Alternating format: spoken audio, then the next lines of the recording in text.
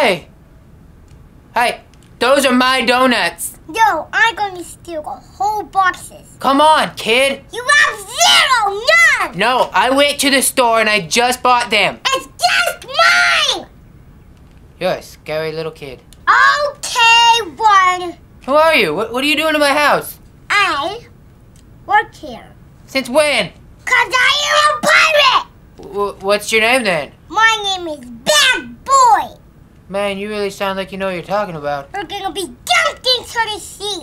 You're gonna be swept off the plane, and I don't care. You get out of the house. That doesn't sound very fun. You have a boat? yes, What kind of boat? it's a houseboat. Sail the high tides on a houseboat? That's actually a pretty good idea. Why don't more pirates sail on houseboats? What's your name? Jeffery? That's not a good name. You don't got that name anymore.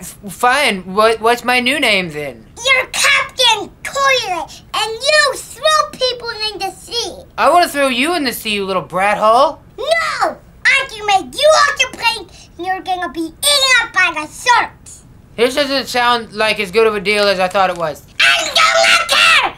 And that, my friends, was the time I met a real life pirate. Ba-ba-da-ba-da-ba-da. Ba-ba-da-ba-da.